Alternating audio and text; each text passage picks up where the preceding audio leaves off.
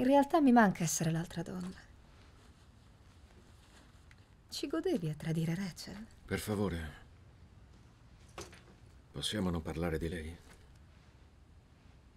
L'ho vista di nuovo oggi. Dove?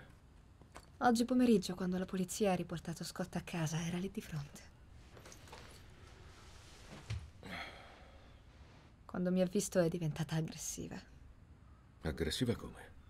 E se è Rachel che ha ucciso Megan? Rachel non ha ucciso Megan.